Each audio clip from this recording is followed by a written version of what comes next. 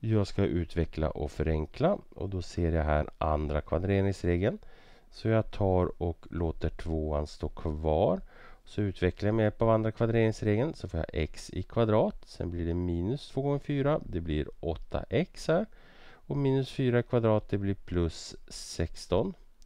Minus x i kvadrat plus 10x. Multiplicera in tvåan. Jag får 2x i kvadrat. Minus 2 gånger 8 det är 16x. Sen plus 2 gånger 16 det är 32. Minus x i kvadrat plus 10x. Hur många x kvadrat har jag? Jag har 2 där. Ska ta bort ett så då får jag x i kvadrat kvar. Hur många x har jag? Minus 16 plus 10. Det blir minus 6x. Och sen plus 32.